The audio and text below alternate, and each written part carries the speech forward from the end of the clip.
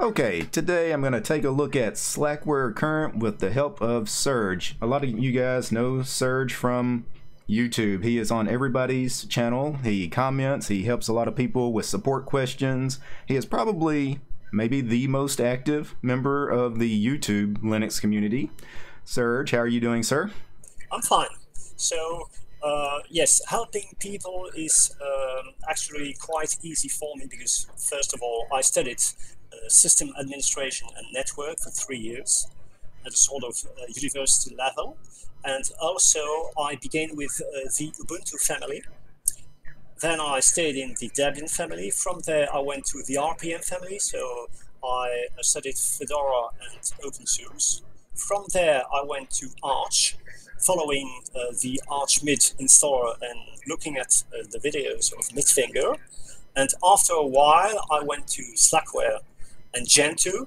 And so I covered uh, the five big families with the exception of LFS, but I have no time for LFS, so it's not exactly a real distribution that you would use as a daily driver. It's more like you said in one of your videos as a learning exercise. Uh, it might be interesting, but I have no time for it at the moment. Yeah, people always ask me about a LFS, and it's great for educational experience. Yes. If you want to do it, it's it's do it in a VM because you're going to spend a couple of weeks on it anyway. That way, you can read documentation, do what you need to do in a VM. But people ask me about living in it. Uh, Other than other than Das Gregor. Uh, no, even Das Gregor had a problem because uh, he could install it, he could install the packages uh, mm-hmm. with pain, but uh, for updates he had a major problem because uh, the update is completely different on LFS than in all the other distributions. Right. So he couldn't stay on LFS, even if he liked it, but he couldn't stay on it. That's a problem. So, but LFS would be nice if you uh, went into a school for students and uh, the professor knows LFS quite well and would explain how to install LFS and what are the different parts and explaining everything quite well, that would be interesting for the students. Then they would know a lot about Linux, a lot about networking, a lot about the hardware and the packages and so on. And that could help them for other distributions. But it's mainly in school, not in the real life. And, and, the other distribution people ask me about living in all the time, and I know you're a really big fan of Gentoo, so I want to bring yes. this up. Yes, is yes, sure. you know Gentoo is definitely not for everybody either. I, I, get a lot of newer users that are interested in it, but if you're not going to really take use of the use flags and you know building things to, to yes. suit your needs, you're better off with a, a binary distro anyway. Yes. Uh, so. There is a very good video uh, on Gentoo, whom Gentoo is for, uh, done by, I think, Angry Teach uh, Gentoo. And it's five minutes video. And in this video, he explains the conditions for you to like Gentoo. And if right. you don't have these conditions, don't try it. It will not be for you. So for Gentoo, you will have you must have patience because if you you are too impatient, the co compilation time will annoy you for sure. That's one thing. The second thing is sooner or later you'll get issues. You have to go to the forums or to the internet to, to search how to fix these issues. Uh, but if you like that sort of thing, then you will love Gentoo. But otherwise, yeah. of course, Gentoo will not be for you. It will. And that, that yeah, and that is the big thing with uh, things like Gentoo, things like Arch, and what we're discussing today, Slackware, is you do have to fix some of your own problems. You have to be willing to go to wikis and read documentation, and yes. sometimes solve your own problems. You have to be your own support network. Um, you know, you probably need to be somewhere else. yes, but uh, uh, for Slackware and for Gentoo, you have uh, some, I would say, some uh, distributions based either on Slackware or on Gentoo that might help you. For Slackware, I would say Salix, because yes. Salix has a package management which solves the dependencies, which is called slapt get, which is the Slackware apt-get, slapt python get. Uh, and this is only for Salix. Uh, for Gentoo, uh, the closest Gentoo is calculate. And calculate uh, has uh, plenty of scripts that uh, in fact are doing what you would have to do manually on a pure Gentoo. So you know the dispatch on conf, the emerge minus avudn at world, and all those things uh, to rebuild the modules. Everything is done by a script under calculate. You are not even aware of that. When you do the update, it does everything for you. It yes. will check if your configuration files have a mistake or not. Uh, it will uh, edit these mistakes, it will correct them, it will do the update, it will sync with their repos, the Gentoo repos and the layman's, so the EIX update, it will upgrade your system, it will do the emerge minus minus dep clean and it will rebuild the modules. It does everything for you. So that helps you a lot. If you want to begin with Gentoo, I would say either go uh, on Calculate or on Redcore, but Redcore is only LXQT and perhaps KDE, Plasma yeah. uh, in the future. But you have only uh, these two right. choices. You have nothing on Calculate, you have uh, XFCE, you have Mate, you have Cinnamon, you have KDE Plasma, you have LXQt, so uh, you have uh, five choices. Yeah, Redcore is really nice because I like the uh, wrapper they put around Emerge, uh, what he calls his package manager Sisyphus. Sisyphus. Yeah, and so you have uh, an, uh, on Redcore, you can do it in the command line because Sisyphus is command line, but right. it is also um, they have the Sisyphus GUI. If you mm-hmm. prefer, you open the GUI and you do what you have to do normally in the terminal. You do it in the GUI. You can do that also on Calculate if you wish. You can install Porthole, but installing Porthole without understanding what is going to happen is quite dangerous. So I right. would recommend that to a new user. Uh, yeah, you can. It might help him, but he might uh, do a lot of mistakes with it. Well, today we're going to discuss a little bit about Slackware. First of all, uh, Slackware, who's it for, Serge? Uh, so, what, what user? So, what user? People who want to have complete control of their distribution, but mm-hmm. using um, either binaries or uh, to compile from source. They have the choice. You can do both on Slackware. On Gentoo, normally you do mainly only from source, but on Slackware you can do both. One interesting thing with Slackware, if you use uh, the stable branch, so for the moment 14.2 and in the future 15.0, the one big advantage of Slackware, you won't have uh, any update won't break your system it is absolutely impossible to break your system. That is a very big advantage uh, because I saw that even on Peppermint 9, after an update, yeah. uh, English Bob could not boot. So it happens even on Peppermint. On Slackware stable, it doesn't happen because Patrick gives you only the security fixes and the bug fixes, but uh, he changes nothing at all. So this scenario cannot happen. So for stability, I mean, people think of you know Debian stable or CentOS. You would say Stack Slackware is in that kind of category that yes, yes. you basically install it and forget it if you want a stable yes. distro. Yes, I know many uh, network administrators who have a Slackware on their server because they know it, it doesn't change. Yeah, it won't be updated. To, yeah. it won't be They want to have a stable system for months or years, and yeah. with Slackware they have it. Yeah, and a lot of uh, servers, I mean, people people turn off the updates on them anyway. They, they don't want the risk of things breaking, so it makes sense to, to run something like Slackware. Yes, but you have to deal on your own. What you have with CentOS is that you get a 10 years support that yes. you don't have on Slackware. So right. if you want support, you will go with CentOS. Right. Well, today I'm going to be installing Slackware Current. Um, which is more, I guess, up to date than the the last release you mentioned 14.2 that was released two years ago june of 2016 yes. is uh, the current going to have fresher packages when you yes. install it yes yes um, i noticed yes. Um, the iso size for it is around three gigs i think when i pulled it down i don't have it with me i noticed it's a fairly big ISO, so it installs like a, a ton of programs, a Yes, full desktop environment. Mm. Yes, that's it. Because it has all the desktop environments that you can get on Slackware. They are in this ISO. Plus, you've got a huge kernel because you can slim it down. But uh, normally, uh, the default will be the huge kernel, and this takes place. Know, uh, all the packages, all the uh, desktop environments, and the window managers, because you have several window managers in Slackware, and this huge kernel. All of this takes place. So with Slackware, um, with 14.2 or with the current ISO, since they're so big, these these ISOs, there's no kind of like net install. I mean, everything is on the ISO. Do you have to be connected to the internet at all to install Slackware? uh, to get uh, to the internet. Um, at a certain moment, uh, it might be because they ask you if you want to configure the network.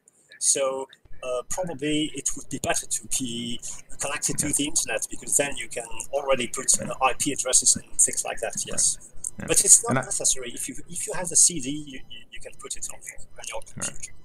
A- And I ask that because occasionally I do have people ask me questions about some of these Linux installers. Some people actually do install them on machines that are not connected to the internet. And uh, of course, some installations just will not work. Things like uh, Antergos, for example, you know, it's a net installer. You can't get that installed without being connected. So, Yes. Yes. Okay.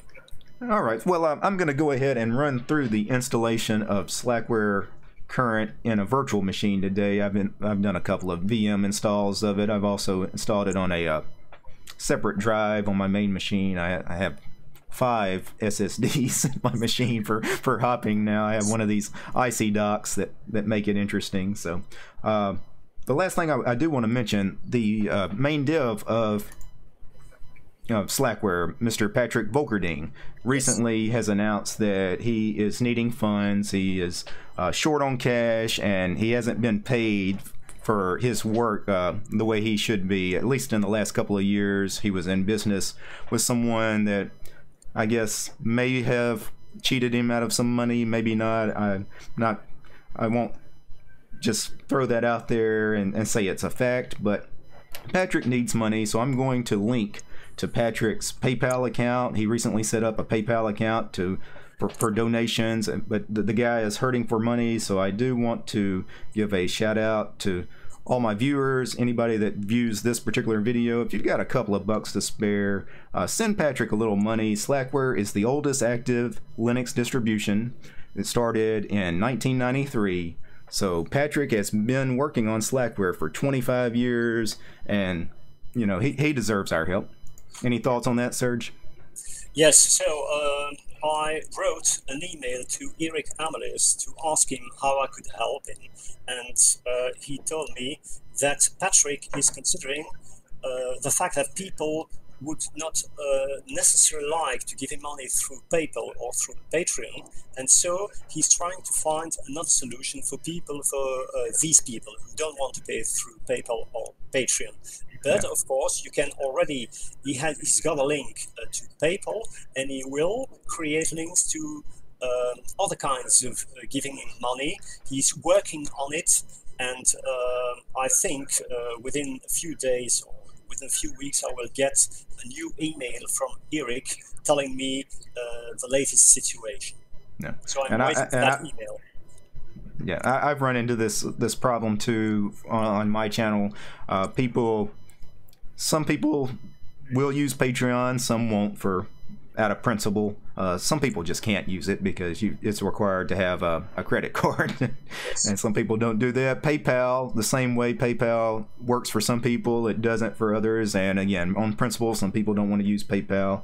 There is a another option I recently signed up for too to give people just a different payment option. It's called Liberapay Yes. which uh, allows anonymous payments, which is very cool. It's something you know somebody like Richard Stallman, for example, uh, is a big proponent of. You know, being able to pay for things anonymously, never having to give your name. He doesn't do credit cards, things like that. So Liberapay might be an option that. Uh, Patrick looks into, although I noticed in the news uh, about a week ago, Liberapay was having some real issues. Apparently, uh, the bank behind Liberapay basically dropped them, and they have to Yes, find they some have other. to, to look uh, for another solution. They are uh, working on it, so I think Yeah. Liberapay will come with a good solution in a few weeks. No. Without, I think so, without any problem. Yeah. Uh, In the end, though, you pr- he probably needs to have at least two or three payment options because none of them are going to cover everybody, uh, depending on what part of the world um, Yes. you're in and what your situation is. Yes, Framasoft is a very good uh, situation. For instance, Framasoft gives you you can pay either through uh, the equivalent of PayPal, or Patreon, but they also give their bank account. So, and this is very good for me because I can transfer money from my bank account to their bank account without. Um, uh, what I say, intermediate player. See, like PayPal or Patreon or some someone else. I go f- directly from one bank to the other. Well, I just wanted to, to throw that out there. So again, the link will be in the description uh, as far as a uh, link to Patrick's PayPal account. And again, he's asking for donations. He, he put the, the call out uh, about a week ago. He, he posted on the internet that he needed help and he set up this PayPal account. So if you guys can help him out, please do. So Serge, I am going to run through the Slackware current installation here in VirtualBox. So I created a 30 gig VM, so I would assume that would be enough space. I know the install size is going to be rather large because I'm going to do the full install, which I believe takes around 9 gigs of space. Yes, 30 gigs is plenty of space. It's more than enough. Okay. All right, so I am at the uh, the boot screen here. It has boot colon and then just a blinking cursor. We could enter, I guess, uh, extra parameters here if we don't need to, which I won't need to.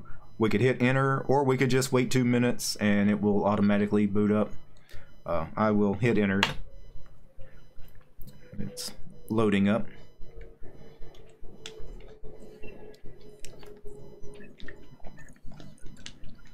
All right. And now we are at the uh, key map. Select the keyboard map.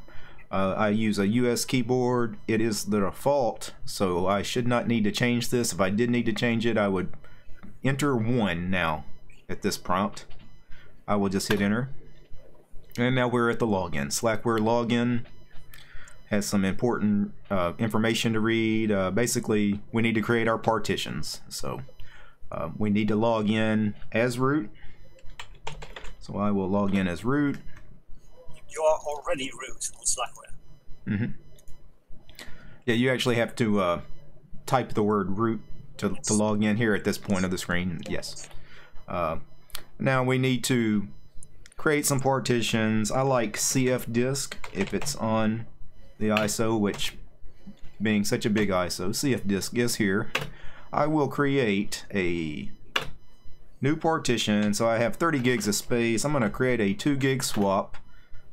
A lot of times I don't even bother creating a swap in these VMs because I'm so limited on space, but I will create a swap for this since I a 30 gig machine. I've got I've got plenty of space. So and then I will do the remaining 28 gigs. Let's see, should we do an extended four file system? I think so. Extended. And- you've got uh, one partition. Enfin, the second is root. Uh, as you can have four primary partitions at this moment, you don't need an extended one. Okay. And I'm going to, uh, of course, we have to turn the bootable flag on. Yes. And other than that, we are done here in cfdisk. I need to actually write the partition table to the disk. It's going to ask me to confirm what I just did. You have to type the full word yes in cfdisk. And then you quit the program and if I run lsblk right now, I should see, yep. So I have SDA1, 2 gig swap, SDA2, the 28 gig, you know, big drive. Uh, after that, we're ready to run through the installation, which I believe is setup. Is yes. that uh, one word? Yes. setup? Okay. And this launches our uh, what Ncurses installer here. Yes. All right, the first option. So we have a, a little menu here. Uh, we could read the help information. I'm not going to do that. The second option is key map. Uh, US is the default key map, so I actually do not need to do that. So I can skip those first two in the menu. the third option is set up your swap partition. Now I need to do that, so I'm going to hit OK here. Uh, it's already detected that slash dev slash SDA1 was the Linux swap partition I created. All I have to do is hit OK, so there's really nothing to do here. You hit yes. So no real typing here, just click OK a couple of times and it pretty much takes care of everything for you. Assuming that I'm actually in the VM. I had my mouse in Hangouts again, so. Alright, now it's asking to select the Linux installation partition. So it's already figured out that the 28 gig drive is that. Do we want to format with no bad block checking? Yes. Now you can check for bad blocks, but it's it takes some time and it's usually not necessary.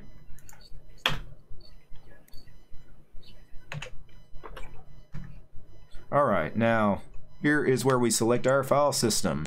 We have uh, Extend 2, Extend 3, Extend 4, JFS, ReiserFS, ButterFS, XFS. The default that's highlighted is ext4, so that's the one I will go with.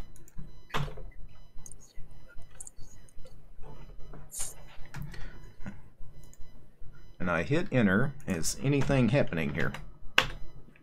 There we go. Looked like it hung for a second, but it, it, it continued on. Alright, please select the media from which to install Slackware. So I'm assuming it's asking about uh, CD, DVD, USB stick.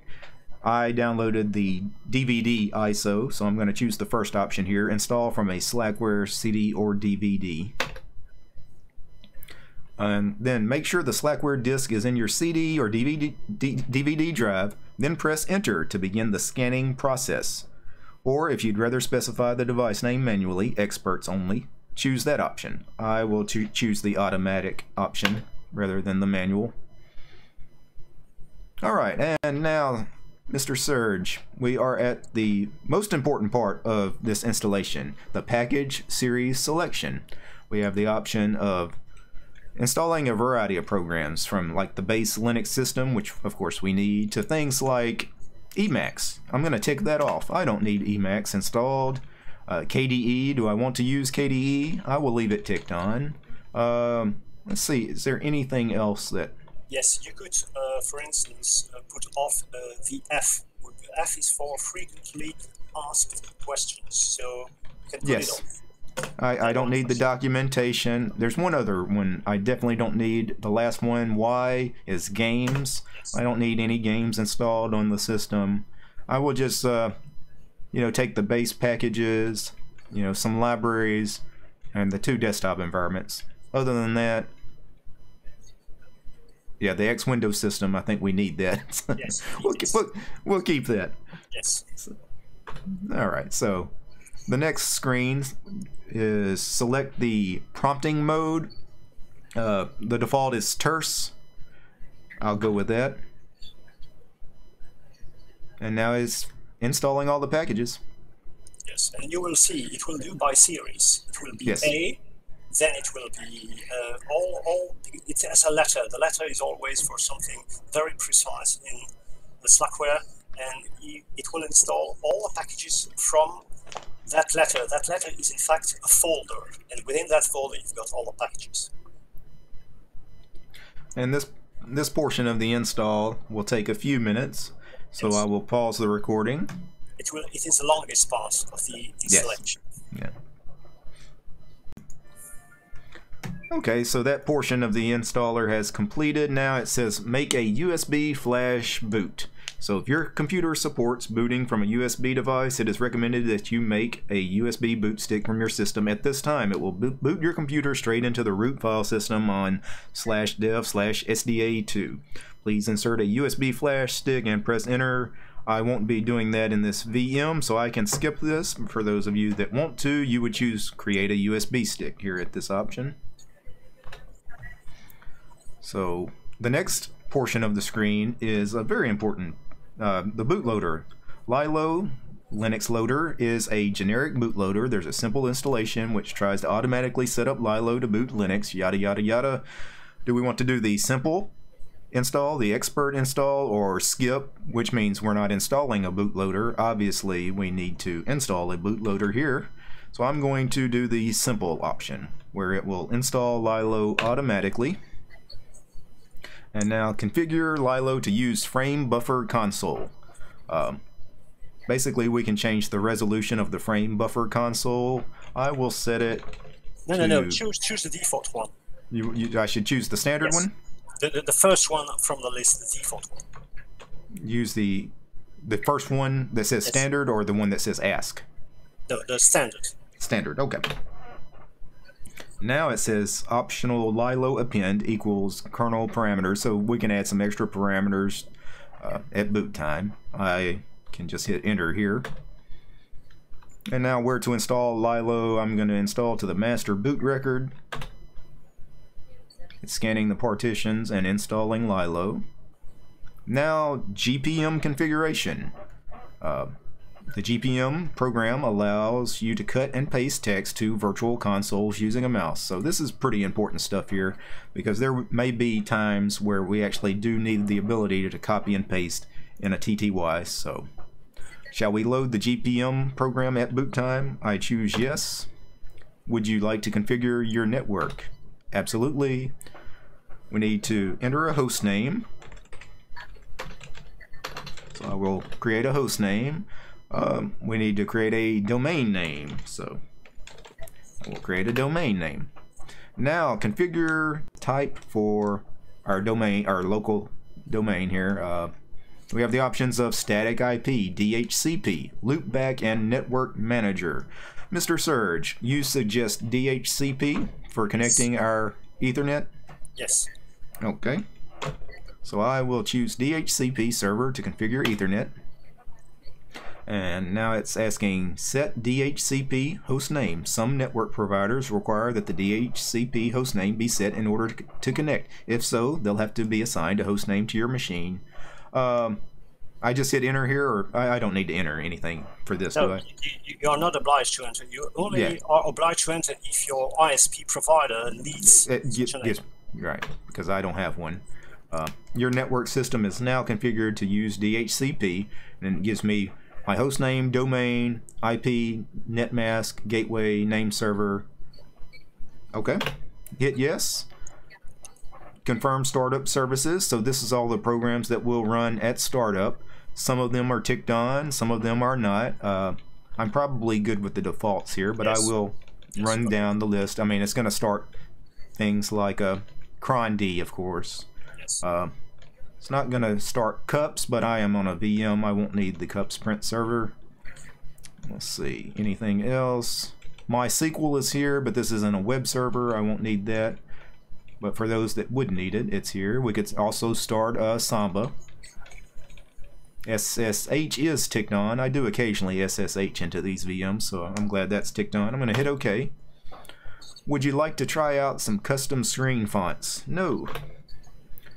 Hardware clock set to UTC.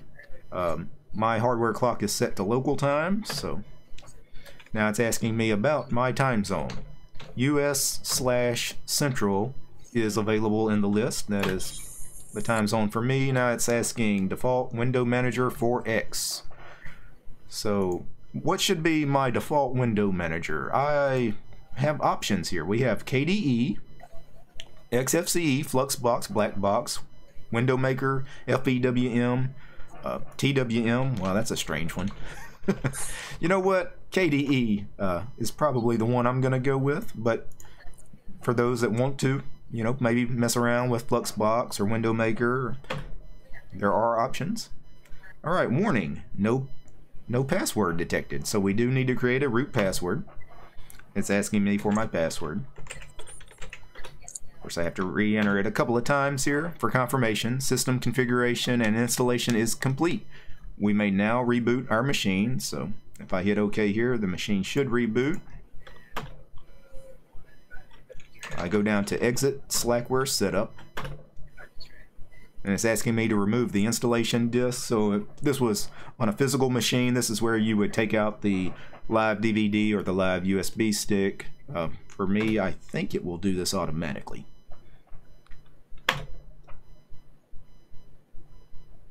And I will wait what wait for a reboot. And yes, we have Slackware installed. So it's loading Linux. Now that's a, a pretty painless install there, Serge. Uh, that is, I mean, if anybody's ever run through an ncurses install, like in you know some of the older versions of, of Debian, those that are familiar with, you know Debian installs, that I mean that's no more difficult than that. So very easy, very straightforward. All right, I am at a login screen. We have only one user, root. So I will log in as root. And it says I have mail. it says Linux 4.14.58. You have mail.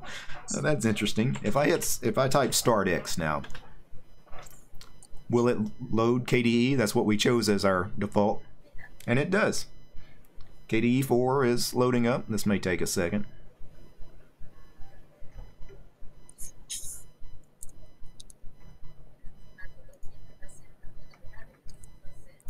I'm going to go back to the chat window here with Serge.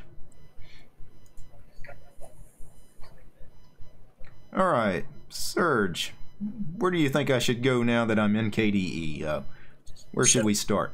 So either you can show your views, all the packages that, are, that were installed. Mm-hmm. This is one option. And the second option is to show to your views, how are you going to update the system because it will not be like uh, on the other distributions where you do, for instance, on the Debian one, you do uh, sudo apt-get or apt-update and apt-upgrade, but here it will not be the case. So I suggest you to first show what the applications are in now, and then I will tell you how we will yeah. proceed to the update. Well, we should cover what is installed on the system uh, very briefly because this was a big ISO and it installs pretty much everything you can think of. So under development, of course, we have a lot of develop, developer tools like CMake, Qt4, uh, some IDE stuff, uh, various text editors. Uh, you do have multiple programs of, of, the same type installed on, on Slackware. We should mention that we talked off camera, there's about six different terminal emulators installed. Under education, we have oh, language packages. Uh, we have mathematics, a lot of mathematics programs actually. We have fractions, calculator, geometry. Uh, I've never actually seen this many educational programs installed on any distro I've ever looked at. The education category here has a ton of stuff. Uh, most of it I've never seen before. Science programs. Now, desktop planetarium I've seen. That's really neat for those that uh, you know like to play with telescopes and view the night sky. Uh, we have a periodic table of elements. So this this would be good for kids. You know, you get kids that are in school. See games. We do have a games category, and it does actually include some games. A lot of games. A lot of the K games. So K Snake, Kollision, K Bounce, K Breakout, Kolf, which I guess is golf but with a K. The KDE guys really need to quit with the K. It's getting annoying. Under graphics, now this would be programs that would interest me for some of the work I do. Uh, we have, of course, Krita, Okular, GIMP, and this is GIMP 2.10. This is the latest GIMP. We have uh, Skanlite, Geeky, we have a PDF viewer, we have uh, Xsane for our scanner, under internet, let's see, under internet we have SeaMonkey, SeaMonkey Mail, we have a BitTorrent client. Of course, we have HexChat for IRC chat. You open up HexChat. I wonder if Slackware is one of those distributions that actually set it up to uh, connect to their support channel by default. It doesn't look like it. That is a nice feature, though. Also under internet, we have Pidgin for instant messenger. We have uh, Firefox and Thunderbird are both installed. Konqueror with a K, of course, is KDE's uh, web browser. And quickly, multimedia. Multimedia has a ton of stuff. We have Amarok X MMS. So two audio players. We have K Player for a media player. M Player, Audacious. That's a third music player. We have JuK. So that's four audio players. Plus you can use both the media players for audio. Dragon Player. Uh, you have seven seven different multimedia players installed. Um, that is interesting. and we might install another one here in a minute, Serge. Uh, we might try to get a SM player installed in just a second. Let's see, Office. Do we have Office installed? Is LibreOffice installed? It does not appear. Calligra is installed though. So it does have Office programs installed. Not LibreOffice though, but we can get LibreOffice if we need it. And then of course all our system settings and such. Uh, utilities. See, anything that jumps out at me here. The Thunar file manager, that's XFCE's file manager. So we have a couple of different file managers, several text editors, a lot of text editors, and some terminal, terminal emulators. So Serge, now we are logged in to KDE as root. Root is the only user we have. We obviously need to create a home user because it is dangerous to only be root on your system. Everything we do now, we have root privileges. So we need to create a standard user. Uh, so I've pulled up KDE's console. What is the best way to go about uh, adding a user in Slackware? I know there's a couple of different uh, scripts scripts we could run at this point. So user add. User add. Uh, typical Linux command to add a user. User add. Mm. All right. So uh, what groups should we add? Uh, our so user. At this point, we. Or we're just going to add. Yes, a user. No, no groups. So uh, user add as the name of the user, or what kind of flags do we give? So we will give some options. We will give the minus m option to create the home user for that user. Mm -hmm. So you will have um, all of that. Will have a, uh, its own directory. right. so this is where it would create um, slash home slash name of user yes. for you. Yes. Okay. That's it. Then the second option is to give him a shell. So minus s, and then you can choose your shell. I would say slash b slash bash.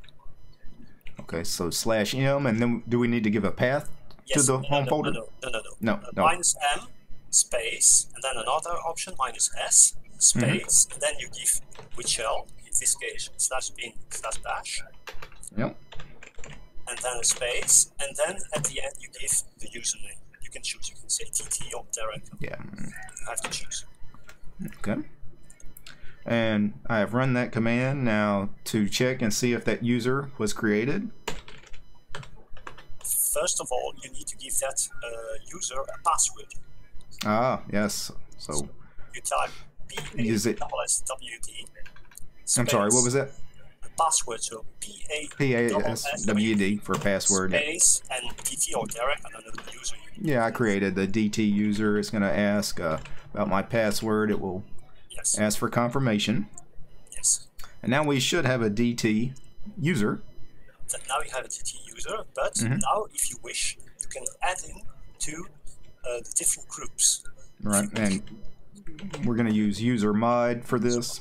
Yes, then space and, and minus uh, uh, lowercase a, uppercase g. G. Yeah. Why the uppercase g? Because you want to append that user to groups other than his natural group. The natural group for this user is the same as his username. If right. you do minus a and lowercase g, and you give the name of the groups, your own user group disappears. So you have to take attention. So you need capital G, so the uh, uppercase G, and then you can put audio, comma, video, comma, CD-ROM, comma, uh, wheel, space, and at the end, TT. So I'm going to add this user to a few groups. Uh, yes, because obviously. in Slackware, you're not automatically added to these groups. You have to yes. do it manually. So I will add myself at least to three or four groups uh, just to make sure we can do some things. The wheel group is important so we can have uh, sudo privileges if I want to add this user to the sudo sudoers file later, which I might do. Um, and then the last thing after uh, the uh, list of groups is my username. Yes, space your username. Space uh, username. So uh, in these groups, uh, do you have wheel or do you have sudo? Wheel. Wheel, that's good. Yeah. Okay. Yeah.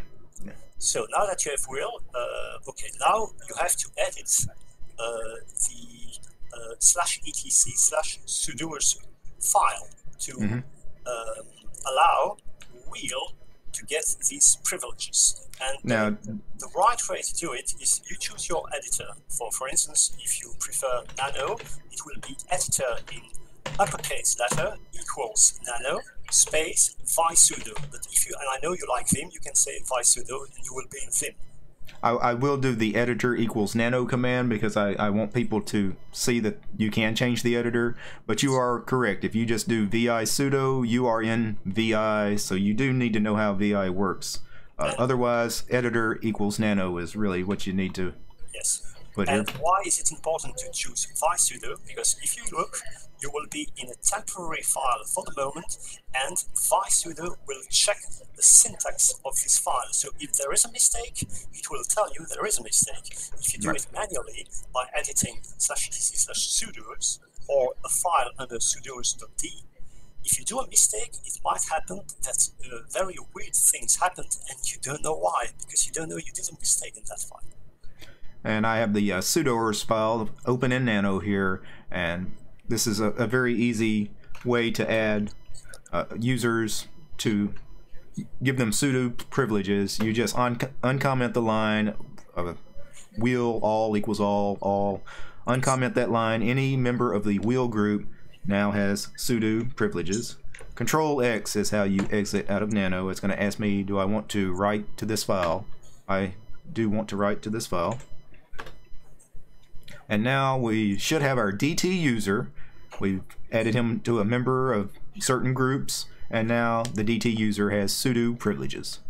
So, where to now, Serge? So, so now we have uh, these privileges. Uh, we will update the system. So uh, you have two choices now because uh, as you have these sudo privileges, either you can do an internal su space hyphen to be root, or sudo space minus s. It's it's up to you. Yeah, to switch over to the root user. I'm currently still in, as the root user here in console, so uh, we we can do anything we need to do. Uh, should we try to update the system because we haven't run any kind of uh, update since the installation? So I'm not sure if there's packages that are available for update or not. Yes, we can check if there are updates. Well, so uh, what is the package manager? The what what tool is Slackware using? So um, Slackware uses now uh, Slack package. So it's uh, S L A C K P K G. This is name, and then you can tell which command you want to do. So we will do the first mistake because normally you have to do something, but it's very good for your users, uh, for your viewers, sorry, uh, to see what happens if you don't do it because Slack will tell you. So you do Slack package space update, and you will see the warning it will give you. Uh, yes, you do not have any mirror selected. So the first So- thing you have to do in Slackware, you have to choose a mirror. And you have to choose a mirror for the current branch, not for the stable branch. So where is this file? It is in slash etc slash slack package slash mirrors. Slash Etsy slash Slack package slash mirrors. Yes, Is that the name of the file or is that a directory? this is the name of the file. So you do Vim or Nano. This Okay. All right, and this is our mirror list, a very long mirror list. Yes, because it is in two parts. The first part is for the stable branch, so for the 14.2 at the moment, Right. and the second one is the same uh, list of mirrors, but for the current branch. Right, so I, I actually see what he's talking about, you guys that are watching the video here. If I uncomment one of these lines, this will give me a mirror, but this is for uh, the stable branch of Slackware. This is Slackware 14.2. I need to keep going, and you will see a another gigantic list of mirrors. This is for current. I need to go all the way to the bottom. The very last thing is the mirrors for the US for current. And I need to uncomment one of them, exactly one. Exactly one. Otherwise, exactly one. But you can do it. Uh, uncomment two lines, and you will see what happens when you do the update. So you yep. will see your views. absolutely. So I'm going to com- uncomment two lines. Two lines. This is a mistake, but yes. let's show you what will happen. Now I run Slack package update again. Yes. Slack package only works with one mirror selected. Please so, edit. Yeah. So. so Slackware tells you what happens when you do a mistake. So we have to go back to uh, slash etsy slash slack package slash mirrors and fix the problem. So I'm going to scroll all the way to the bottom and now I need to comment out one of those mirrors and now I have one mirror uncommented. Exactly one. That's what we need. Exit back out. Now when we run the update, slack package update, yes, it says, do you want to really do this? Yes. Y for yes. And there we go. It looks like it is uh, is it syncing. fast or slow? It says error downloading from that particular mirror we picked, so I may need to pick a different mirror. Uh, maybe you have to pick another mirror. Yes, let me uh, go back. So, and this is good that that actually happened. Uh, sometimes you do have problems with mirrors, especially if you're only working with one mirror. All it takes is for for that mirror to be down, and yes. so I will choose another mirror in the list. And let's see. Now it is updating just fine. So that first mirror that I uncommented was obviously down. Yes. The next one is working just fine. And as far as the uh, speed, yes, it is actually really fast. Okay, that's good. Sometimes with IPv6, it stays a very long time at each line, and then you you need yeah. to, uh, to do a workaround for it. Yeah. Matter of fact, that uh, that Slack package update is already done. Okay. So that was. So, so the second step is what kind of updates do I have? Because I have updated the change logs. So now we will do Slack package space upgrade hyphen all. Slack package upgrade dash all. Yes, and, and you have and, an ncurses window with uh, packages that you could update and we do have packages available for upgrade. They're already ticked on, so if I just hit OK, it's going to update kernel generic 4.14.59 is going to give me the kernel headers, the modules, the source. It's also going to give me Mesa 18.1.5. So okay. there's five, five packages. Okay, the one very important thing you have to check in this list, you, you, you shouldn't do OK blindly. You have to see if there is a package named Slack package because if there is such a package, you need to upgrade Slack package before doing a second update and right. second upgrade all. Otherwise, as it will take the first of the list, it will upgrade with the older version of Slack package, and mm-hmm. it will be a mess because you yeah. need the newer version of Slack package. Yeah. And, and that's good advice on, on on most distros. If your package manager has an update, update it first before you run the system wide. Yes. Alright, so I'm going to hit OK here. And yeah, again, download speeds are pretty fast. Uh, it's good. Normally it's good. And these are big downloads too because it's a kernel update, so it, it's good to have good speeds. And the, the problem is with the kernel update, uh, first of all, it checks uh, the kernel image. If it's good, it removes uh, the current one and it installs the new one. So it takes time. because We have to remove I mean, thousands of files uh, from the old kernel and installing the new files for the new kernel. So it takes time. Yes. Yeah. yeah, let's see. Download speeds are right around 1.2 megabytes a second. That's pretty good. Of course, this may take a second. And we had five packages Yes, but you have big ones. You have. Uh, yeah, yeah. They, these. Yeah. If you have LibreOffice, for instance, a new uh, version of LibreOffice, it takes time. If you have a new yes. version of certain packages, take some time. Yeah. So, yeah. Your web browsers, the big ones, can take yes. some time too. Yeah. Uh, speaking of which, the Linux kernel, you know, the size of this thing. How many millions of lines of code is it now? Uh, it, it grows so fast exponentially. Yes. Uh, I, I'm not even sure Or where, where they're six- at on. Not more than six million for sure. Yeah, yeah. Several millions, yes.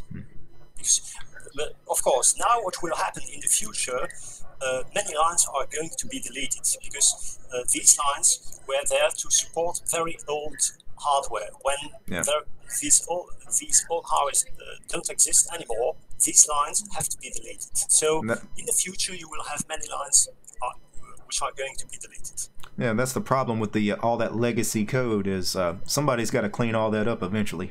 Yes. Yeah. But of course, gonna- you have the newer hardware, and then you have to add those lines Yeah. for the support for the new hardware. Yeah, it, it is an amazing project. Uh, you know, you got to admire the guys that, that work on the kernel. Yes. Of course, so so much so much of that is is due to uh, corporate sponsors and donations. To I mean, we have to give credit to companies like Google and Microsoft. I mean, they do support the kernel. I know they're big and evil, but Yes, AMD supports the kernel. yes, uh, Yes. Uh, so there are thousands of lines for AMD. right. And um, also, uh, Linus now has uh, more than 1,200 uh, persons working on the kernel. So it's got a lot of people. Yeah, a lot of people like to think that the uh, kernel is like a community project. That a lot of people are just working on it, you know, free as free and open source software. But to be honest, over seventy percent of the people that work on the kernel are working on it on behalf of a corporation that is basically paying them to, to put stuff in the you know. So Microsoft they have employees contributing to the kernel mainly for their own purposes, you know, the uh, Azure stuff, and uh, no doubt Google for you know all their operating systems, Android, Chrome OS, and I, I'm gonna pause the video just for a second while we wait for this to download. So the install of the upgrade has finished, and it is telling us we have a kernel image update. So because we have a kernel image update, we do need to update the bootloader, we need to run this command. It actually tells us in the terminal what to run, slash sbin slash lilo. So let me run that as root.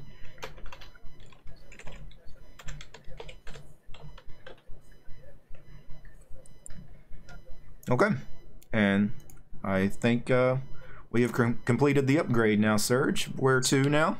So now that we have upgraded kernel, we will uh, edit a file so that you can log in automatically into a graphical session without having to go through startx. But it's not mandatory. You can choose. You can always go through startx if you wish so, or Yeah. but I will show you the way to go to the graphical. Uh, I mean the graphical session immediately without going through startx. So you need to edit the file slash etc slash init tab. It is a file slash Okay. etc slash init tab. Slash et etc slash init. tab. Init tab with two Init. T. Init Two and Ts, tab okay. one word. All right, and we have that open. And you, you have you've got a default somewhere. Uh, at this moment, it is three. You have to change the three into a four.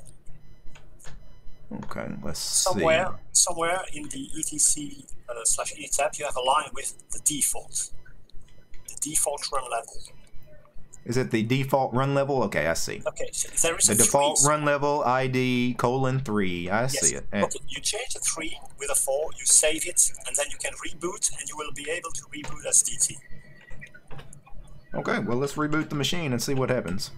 We need to reboot anyway since we did the kernel update. yes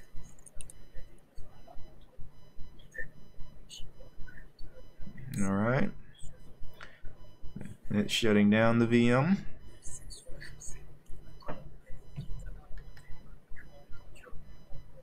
And we're back to the splash screen here. And it's loading up Slackware.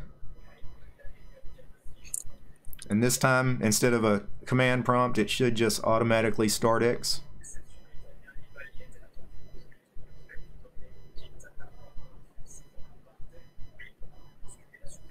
Start X as the DT user too, no longer as root now. Yep. And we're at a, a login screen. Awesome.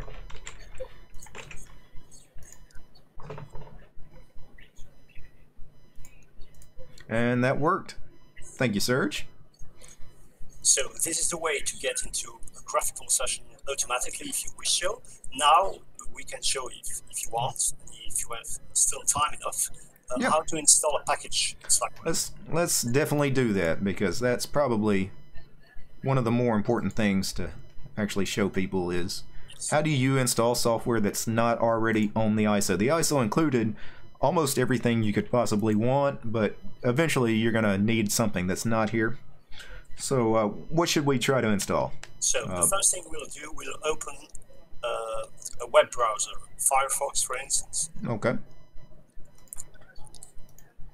And Firefox is installed here. It's going to take a second to load in this VM. Alright. And what website should I navigate to? So you can go into the URL bar with uh, Mhm. packages.org, so pkgs.org. Okay. Uh, did I not spell that right? PKG Packages? Packages, it is pkgs.org. Ah. I was wondering why packages.org was trying to sell me a trip to Cancun. That's not normal. okay, you are on the website? I am. Yep. Okay, so now you have somewhere a search field on the right, and you can put SM Player, and when you will begin to type, it will ask you which distribution, and there you type, you have a Oh. drop-down menu, and you choose Slackware 14.2. Hold on just a second. This VM is not liking to capture my keyboard. And uh, obviously the distribution we need is Slackware 14.2. And then in the search field, you can put SM Player with lowercase SM Player. So we have some some options here. Let's see, SM Player i586. Uh, So you, you have to go down, there is, X86. A, there is a Slack only somewhere. Yes. choose the x86 64. of course. x8664. So yeah. you, you click on that link and it will bring you the page and it will tell you how to do it. And okay, so I clicked on the page. So we're on the page for SM Player 18.6 uh, X x86, of Okay, course. now you Uh, have to scroll down where you see, uh, do you have a requires? Does it need Yep. to have a dependency somewhere or not? Required by SM Player skins and SM Player. This is required by, but you have a requires section. I do not see anything that says requires. So So this means you have no dependency uh, to install. So now you go to the section with binary package. uh, binary download. Yep, I've got it. So you have you, you can click on it to save the file, but uh, somewhere under you have the command to do to install a package. It will be upgrade package space hyphen hyphen install hyphen new and then the name of the package. Do you have that? I file? needed. Uh, I need to download this file first. Yes, first save it. Then it will download be it. your downloads file, and then as root, you have the command to type. It is somewhere under the binary package in red, presumably, to tell you what you have to do to install Okay. the package. So let me switch over to console. And then- do I need to CD into the downloads so, folder? So cd slash home slash dt slash downloads.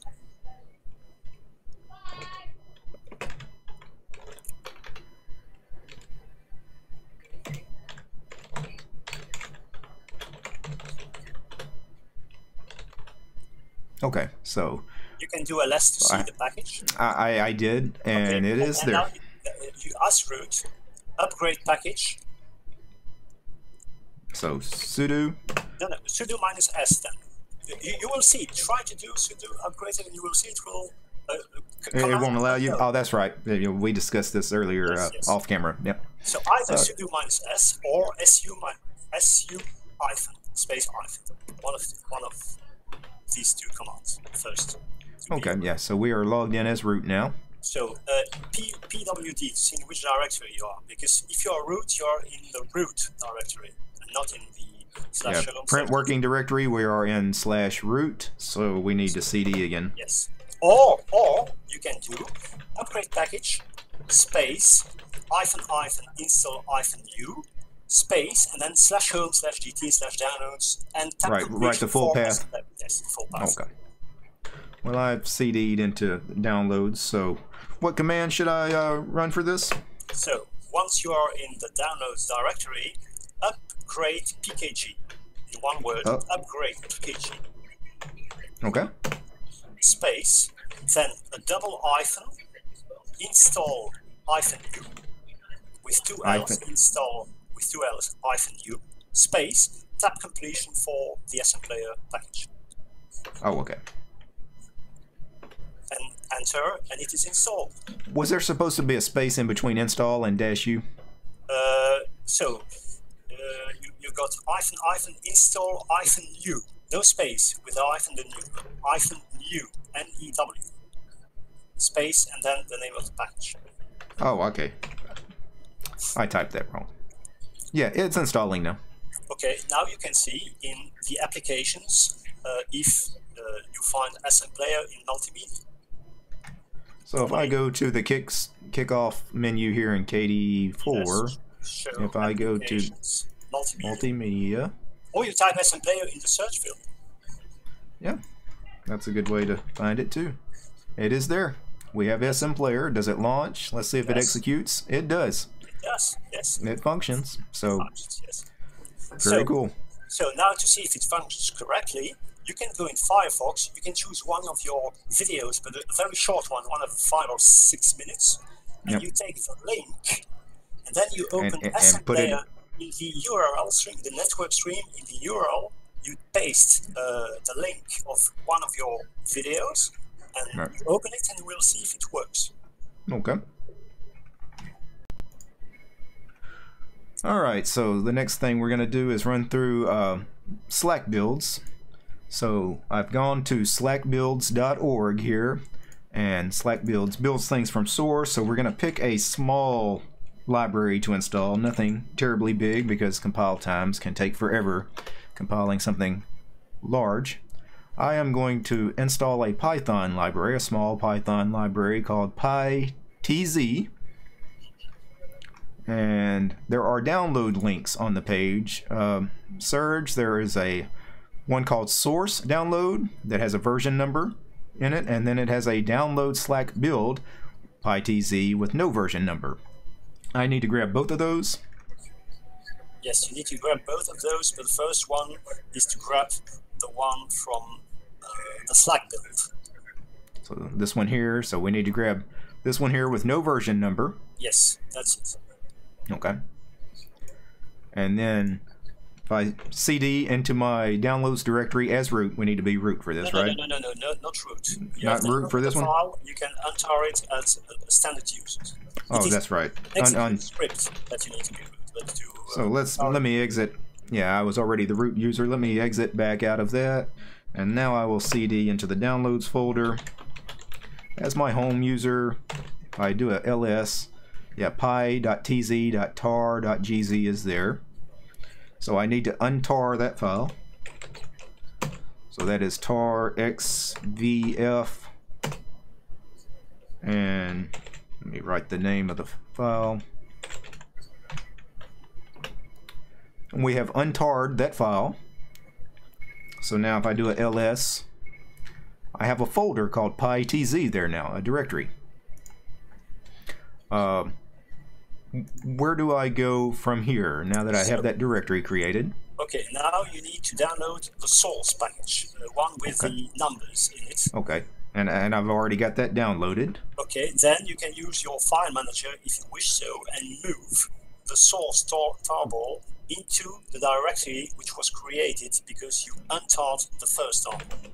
I will, since I'm already in the console, I know a lot of users hate when I do this, but I will move it in the terminal. You can Move move the name of the file.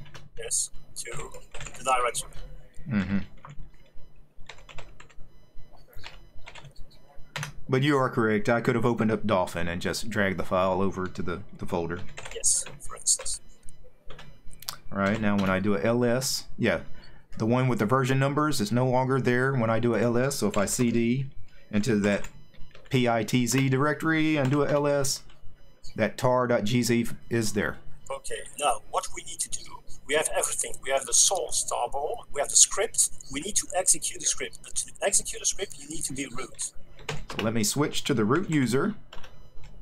And now I need to cd back into the downloads folder because your root user, when you log in, oftentimes logs into the root directory.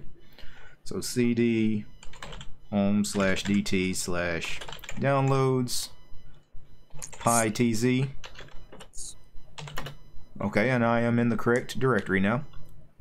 So you you can do ls to see that you have your script there. I have, yeah. Mm -hmm. Okay, now you have to you, you need to execute. To execute a script, you have three commands to do that. Either dot slash the name of the script, or bash space the name of the script, or source space the name of the script. It's up to you. Okay. Uh, the uh, name of the script is Slack build, right? Yes, with tab completion, okay. it will choose the Slack build because it knows okay. it, it has to execute something. So, so as root, I'm gonna run as root. I'm gonna run dot slash pytz dot slack build, and it should build the package, and it is. It's compiling. Okay. Now it's uh yeah slack package slash temp slash pytz. So it, it has moved all of this into a uh, temporary directory. Yes, and now you need to install it on the system because it is in the temp directory, but it, it needs to be placed in the right directory. Um, and the command for that is install package pkg. Yes. And then just the location of that that, that directory. Space and then slash temp slash tab completion for the package. And that is it. It is installed. It is installed, yes. Very cool. So that is actually not bad. I mean, that is no that's no more difficult than installing something from the AUR and Arch or, you know, playing with the overlays in Gentoo. I mean, did you go to the Slack build site, search for it, download it? Yes. So yeah.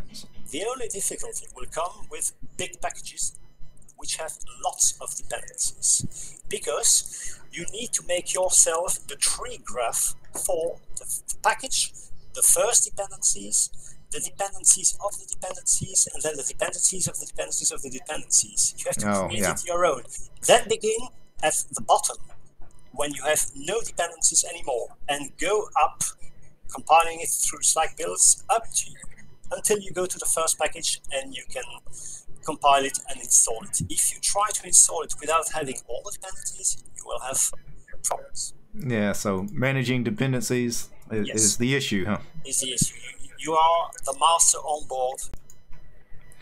So, Sergey, uh, this you you manage your own dependencies in Slackware. What is the best way to go about that, as far okay, as finding? So for uh, a new user who doesn't know uh, which dependencies uh, belong to a certain package, uh, it is a very good idea to go to the website of Salix OS. Salix, salixos.org. Yes. And on the homepage of this website, you have on the right hand side, you have in green somewhere uh, a menu called Package Search. It is under Web Search, you have a Package Search. Ah, I see it. You click on it. Okay. So once you are in the second window, uh, you can put a name. For instance, you could put uh, Clementine in the enter search term, and I don't know if there is a version for uh, 14.2, but for 14.1 there should be a version. And no results when, found. So you, uh, you can choose another version with, with a 14.2 you can choose 14.1, for instance. I will go there, I'll see if it exists, but I presume it should exist. Yes, mm. for, for the 14.1, you have a, a result. Yes, we do. Yep. So, you click now on Clementine in this package search results. You click on it. Mm-hmm. And have, we have our dependencies, yeah. You have the, but these are the first dependencies. If you click, for instance, we will go click on Mesa, for instance, and you okay. have the dependencies of the first The, uh, of the dependencies. yes, you uh, see, that is the difficulty of Slackware. You Yeah. need to check that you have all these dependencies until there are no dependencies anymore. And then Yes. you can install patch. That's Th- the th- yeah, this is the rabbit hole you sometimes get into when you start building things from source is you know you're building something from source on your distro because it's not in the repos and then you find a dependency that's also not in the repos and then a dependency of the dependency that's not Yes. and then it, it's an all-day job sometimes yes. yeah. well i think that's where we're we'll wrap this up uh, Serge, I really appreciate you hanging out with me today and helping me get through Slackware Current. Uh, really interesting distro. I'm glad I've finally taken a look at it on the channel. Um I, I really like it as far as it's actually pretty intuitive and easy to use. A lot of people fear it, but uh, I was pretty impressed with everything about it, especially the package management stuff. A lot of people fear that. It seems pretty straightforward to somebody like me. Uh, I don't know. Uh, I, I know. I know you love Slackware. You also use things like like Gentoo. Uh, I mean, what are your thoughts as far as uh, you know? How would you compare something like Slackware to Gentoo, since you're very familiar with both those distros? How did they differ? So know, for uh, on Gentoo, i- you compile from source. Every package is compiled from source, unless you can give. Sometimes you can have a binary package if you use for LibreOffice, Firefox, for instance. If you don't want to compile, for instance, LibreOffice, it takes almost two hours to compile. If you don't want to go through two hours of uh, uh, compilation time, you can use the LibreOffice-bin, and this is installed like a binary package on another distribution. It will go very quickly. So Yeah. if you if you can't wait uh, that much, then you can choose that. On Slackware, you have, I showed you both ways. You can install a binary package, or you can go through Slack builds and create a package and then install it. So you have both. Uh, so, uh, Alex, this so is the, the main difference between the two. So the two different ways uh, you talked me through on camera. The first was the binary way with just the uh, what was it, Slack PKG. Uh, so it what- was with uh, the packages.org, and then you Yeah. use the upgrade package hyphen hyphen install new That's right. package. Okay, that's that's one way. The second then- way is to create uh, through source through Slack builds. Then you have a package and you do install package from the slash temp directory. This is the second way. But there are still other ways. We won't talk about them today. But there are other ways. But since a few years, uh, there are special tools which have been created on Slackware to help you. SBO package, SBO tools, Slack package plus. These three tools, if you use them, it will go much faster because some of them will check for the dependencies, will find all the packages you need uh, in a quick way. So uh, nowadays, it's uh, even, I would say, um, it's uh, rather simple to Easy. Yeah. e- easy. Once you learn how to use them, Yeah. then it will be very easy. Yeah, it seems very straightforward. It's very, uh, very much follows the KISS principle, the Yes. keep it simple, stupid principle. Yes, yes. Uh, pretty much, uh, whatever you're doing to this machine, uh, you do it. You know, nobody else is doing it for you. So, And Uh, I- I, must say that Slackware is one of the rare distributions that follows the LSB for the package management, which the LSB recommendations was to use the RPM package. And Slackware has a tool called RPM to TGZ or RPM to TarGZ, and you can install a package from an RPM based distribution and you can create a package which has the Slackware format and you can install it then into your system. So this is a fantastic cool. tool. If you find packages that you can find only on an RPM-based distribution, you can do this through that tool. very cool. Well, well, we may cover that in a, a future video. I, I definitely will. Will keep up with Slackware. I'm glad I uh, uh, played around with it the last couple of days. I actually ran through um, three or four installations of Slackware since yesterday, playing around with it. And again, I, I'm really impressed with it. Uh, people have been bugging me about Slackware because it's, it's strange that it took so long. I mean, it's one of the the big distributions. I mean, it's the oldest active Linux distribution. And for whatever reason, I haven't gotten around to this one, and the other one people really bug me about. I will take a look at Puppy Linux soon, guys. So calm down on that one. Yes, and what we can say about Slackware is mm. it uses exactly the same tools as 25 years ago. It hasn't changed its uh, init system. It's always sysv init mm. like 25 years ago. It hasn't changed uh, these package managers. It's always the same like 25 years ago. As for instance, uh, even under Fedora, it was Yum, now it is DNF. Uh, mm-hmm. yeah. On Ubuntu base, it was uh, they use Upstart. Now it is systemd, so they change uh, things. But Slackware uses exactly the same tools as 25 years ago. So it is fantastic that it it works really fine mm-hmm. with the tools which were there 25 years ago. Yeah. Well, I want to thank you, Serge. Uh, before we go, do you want to um, share um, any kind of social media or, or anything? Uh, where can people find you other than YouTube?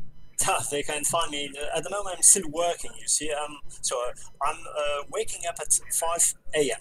I'm coming back generally at 7 p.m.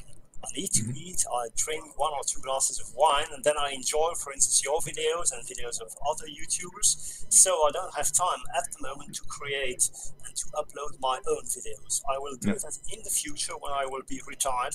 Then I will have time to do it. But at the yeah. moment, uh, I prefer to help people with some comments uh, in YouTube and even on forums. But uh, to create my own videos as I see it takes time to create videos. So yeah. I don't have unfortunately I don't have that time. So you won't find me on any channel or be it YouTube or another. But in the future if I do videos it will be on uh, Framatube so PeerTube it's the same. Okay yeah so it's very cool. open source yeah. YouTube channel yeah, it's one I, I'm interested in, in exploring. Eventually, I would love to uh, I would love to get away from Google at some point, uh, just get Google out of my life. But for now, I'm kind of stuck with it. But thank you, Serge, for all your help today on Slackware. And on, on my way, final thoughts. I will say I will put, post a link to Patrick's yes. uh, PayPal.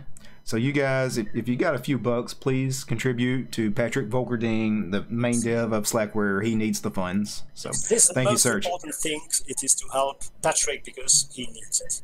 Absolutely. Thanks, Serge. Yes. And before I go, I do need to give a special thanks to my patrons, all of my Patreon supporters.